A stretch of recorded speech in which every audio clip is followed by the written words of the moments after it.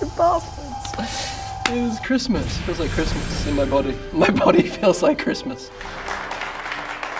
Son of a bitch did it. You're ridiculous! Oh my god. Life can be okay sometimes. Life can be really nice. That was one of the, the best moments of my life. Um, don't do why? But Like, it's my choice, my life. You don't give up, do you? Why are you angry at me, you fat and stupid? You could have the power of the gods! We'll never know. Thank you. This is some form of torture.